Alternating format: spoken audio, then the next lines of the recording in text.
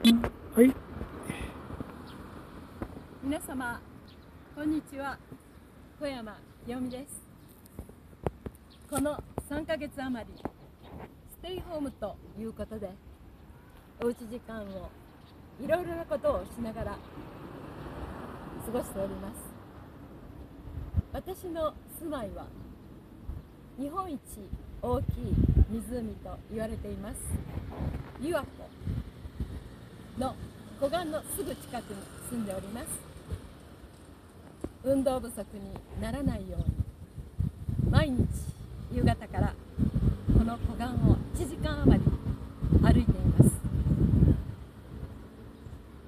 まだまだ外出や遠出ができないという皆様にぜひこの琵琶湖の美しい景色をご覧いただきたいと思います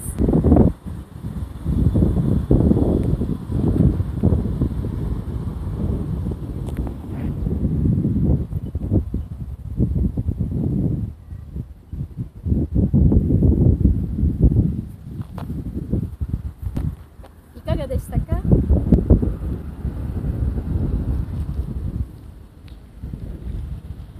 ちょっと旅運を味わっていただけましたでしょうか？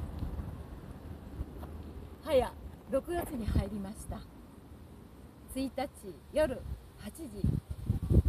全国一斉にコロナ収束の願いを込めて花火が上がりました。この琵琶湖の湖岸にも美しい花火が上がりありがとうという声が聞こえてきました。平和な日々が早く戻りますように。皆様とご一緒にこれからも前向きに頑張っていきましょう。